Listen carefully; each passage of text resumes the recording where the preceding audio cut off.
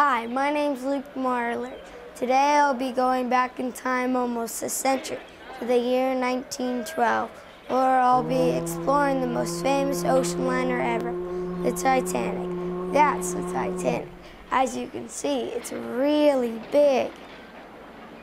In fact, it's so big that if you were to walk from the front of the ship, called the bow, to the back of the ship, called the stern, it would be the same as walking the entire length of a football field. Three times. The Titanic was actually the second of three ships that were almost identical. The first was Olympic, and the last was called the Britannic. All three ships were built at the Harland and Wolff shipyards in the town of Belfast in Ireland.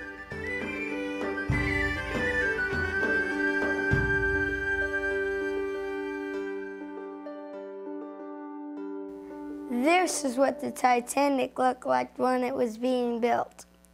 It took 15,000 people more than three years to build the Titanic. That's a lot of work. But when it was finished, the Titanic was considered to be the most luxurious ship ever built. The inside was as beautiful as the finest palaces anywhere in the world. It had the most comfortable rooms, lots of famous paintings, and tons of beautifully hand carved woodwork, like this here. This area here is called the Grand Staircase, and in the middle here is the beautifully hand carved wood clock. The two women you see here are Honor and Glory, and this shows them crowning time.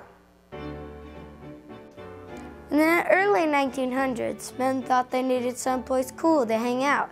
So the Titanic had these rooms called smoking rooms, where the men could hang out, talk about politics or hunting, play cards, and smoke.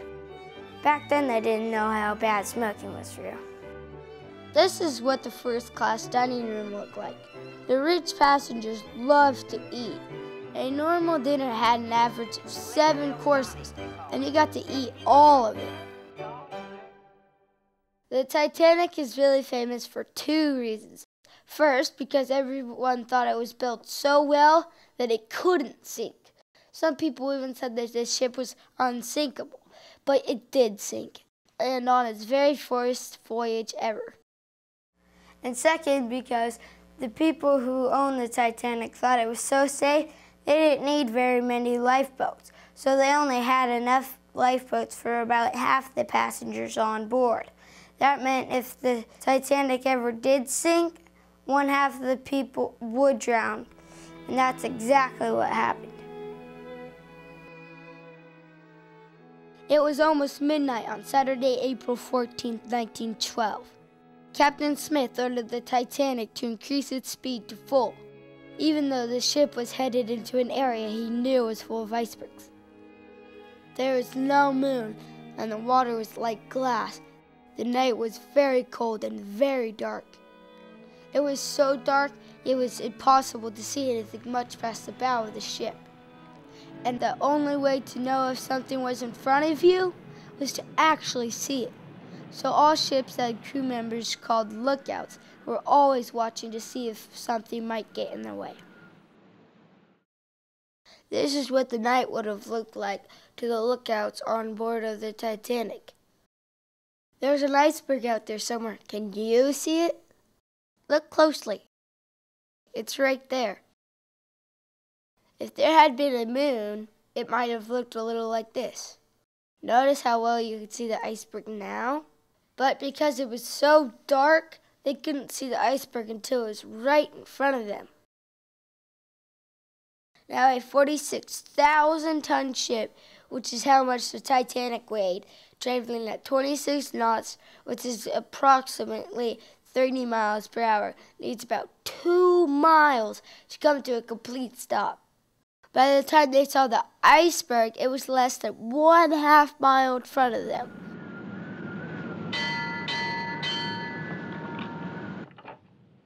What did you see? Iceberg, dead ahead, sir. Iceberg, dead ahead, sir.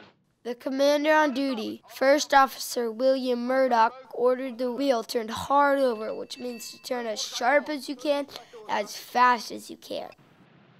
But because of the ship's size and speed, it took a really long time before it began to actually turn.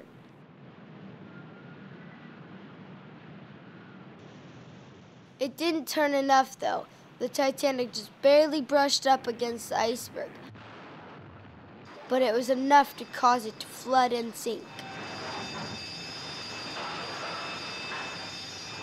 And because there weren't enough lifeboats for everyone on board, the crew started practicing the age old custom of women and children first. That meant that the men weren't allowed to get into a lifeboat until all the women and children waiting had gotten in. If there were more women and children than the lifeboat could handle, then no men were allowed at all. Nearly three quarters of all the passengers who were lost were men. But there was another problem. Because it was so cold outside, a lot of the passengers didn't want to get into the lifeboats. They actually felt safer on an unsinkable ship, even though it was sinking. Believe it or not, some of the lifeboats were only half full when they left the ship.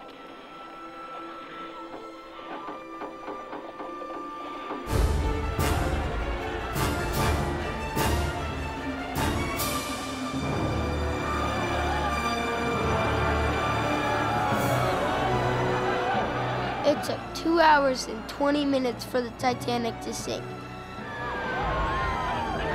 When it was gone, only 705 people were alive out of the more than 2,200 passengers and crew on board.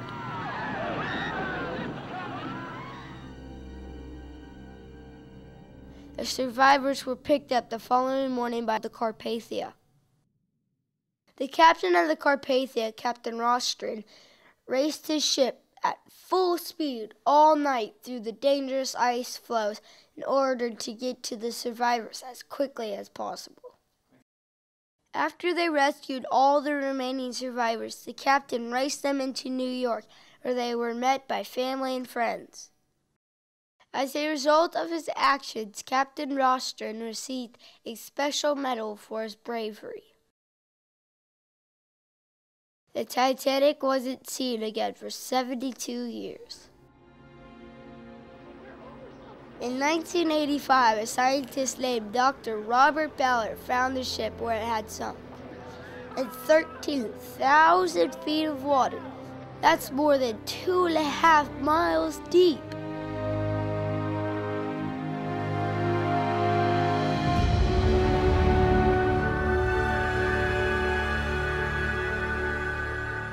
Today, the Titanic is visited only by scientists. They are studying how the deep ocean affects the wreck. And while it is now beautiful in its own way, it doesn't really look like the ship that sailed in 1912. For four wonderful days back then, it was the most beautiful ship in the world. I'm Luke Marler. Thanks for watching.